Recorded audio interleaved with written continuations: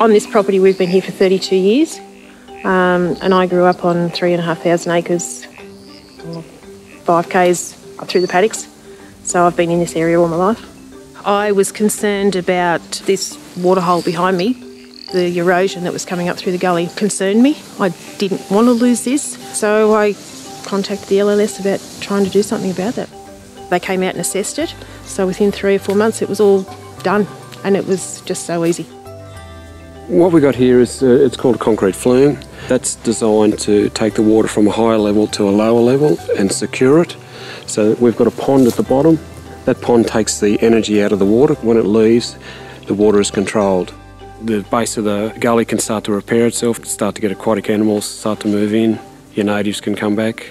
And again, the, above it, it is secured for many years to come from now. Well, the partnerships are very vital. If the landholders don't come to us, we can't help anyone. Well, I think our rural landscape program is very easy for the landholders to work with us. The works that were done here are actually addressing water quality risks both up and downstream. We believe in a, a multi-barrier approach to water quality protection, and that means uh, not just focusing in on you know off-takes at the reservoirs, but going right up to the top of the catchment and focusing on what we call source water protection. This really means getting involved in catchment works high up in the catchment to minimise the water quality risks right at the top end of the catchment before they come down into the reservoirs.